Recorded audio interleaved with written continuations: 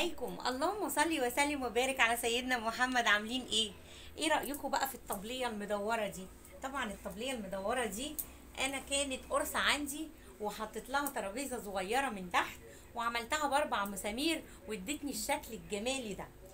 حطيت المفرش ده بصوا بس حبيت إن أنا أعمله بفكرة تانية إن أنا عايزاه مدور ويدي نفس ال- الكرنشة دي. لأن القطعتين دول بيجوا في الأرض كده بيبقى شكلهم الأربع جناب دول بيجوا إيه؟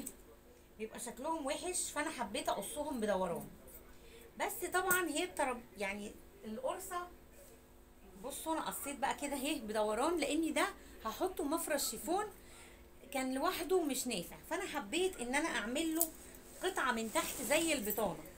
طبعا بصوا القطعة دي أهو وشها ده المفروض لقيت ظهرها أحلى من وشها.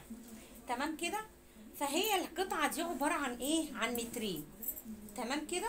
فأنا قلت هشيل منها نص متر علشان ما تبقاش كبيرة وطويلة.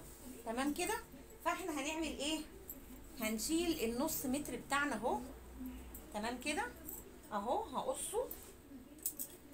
بصي برضو وأنت بتقصي عشان تتأكدي إن قصك صح لازم تحطي الطرف ده على الطرف ده. شايفين؟ أهو.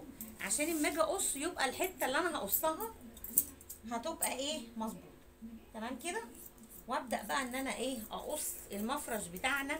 إحنا عايزين نعمل مفرش عمولة يعني مش مش أي حاجة.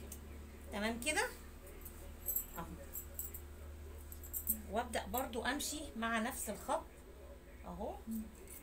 هي أصلا القماشة مخ- مخططة وعاملة مربعات كده كويس. تمام كده؟ وطبعا القطعة دي اللي هي النص متر دي شايفين مكتوب عليها. تمام كده؟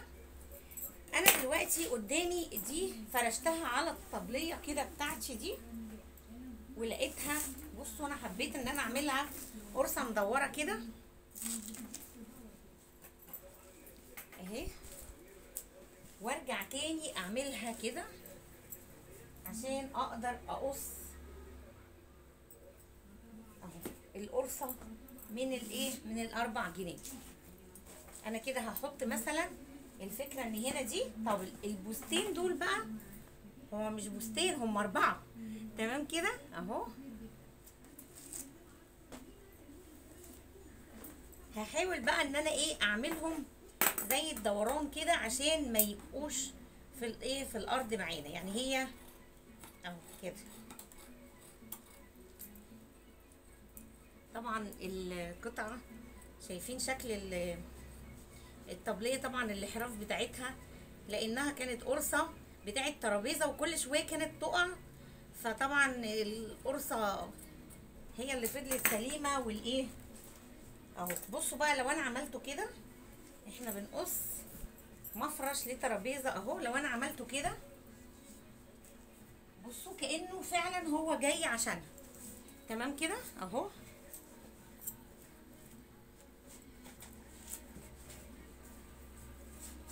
عايزة تبقى هي من كل الجهات. لا مش عاجباني برضو عايزة أقصرها أكتر شوية كمان. أهي يعني هي من هنا من هنا كويس. لكن عايزة تتاخد من هنا. بصوا أنا والله مش خياطة ولا أي حاجة بس إحنا بنعمل اجتهادي.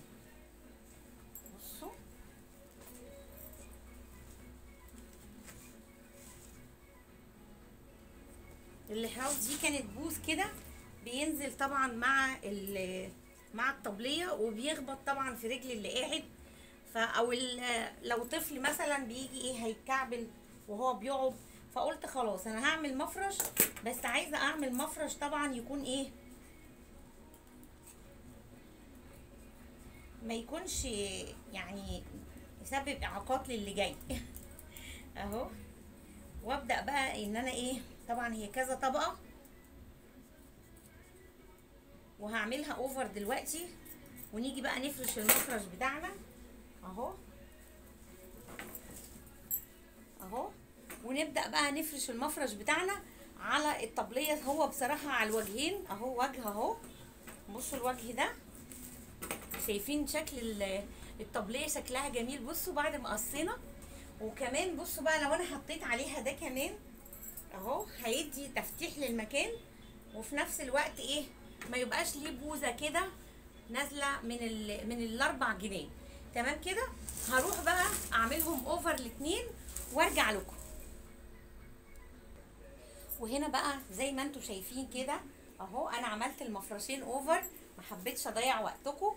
بصوا سواء عملته بالناحية دي اهو ده الوش المفروض بتاعه بس حسيت إن الظهر أحلى. بصوا شكل ال- الترابيزة بقى جميل جدا جدا شايفين؟ أهي.